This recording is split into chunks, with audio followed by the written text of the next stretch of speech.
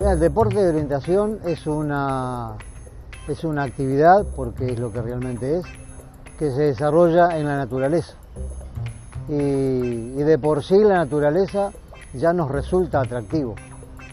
Si a eso le sumamos que eh, la aventura es parte de la actividad, entonces creo que cerramos un círculo. El, el deporte de orientación no, no tiene, no tiene límite, va de, desde el niño que vive en la ciudad, en, en- la zona urbana, suburbana, el medio rural, en los campamentos, este, en las colonias de vacaciones, en los campamentos eh, de todo el país, porque en este momento los campamentos también están desarrollando esa actividad.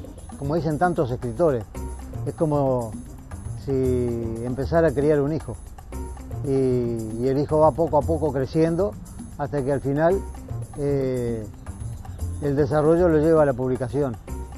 En el momento actual en el cual este, estamos en ese proceso de, la divulgación del libro, eh, es un orgullo que siento interiormente porque realmente publicar un libro lleva mucho sacrificio, mucho tiempo de, escribir, de estudiar, de investigar, de experimentar, mucho tiempo que uno le saca a la familia, este, viene de trabajar cansado y todo lo demás, pero ahí está lo que dicen los escritores, la musa.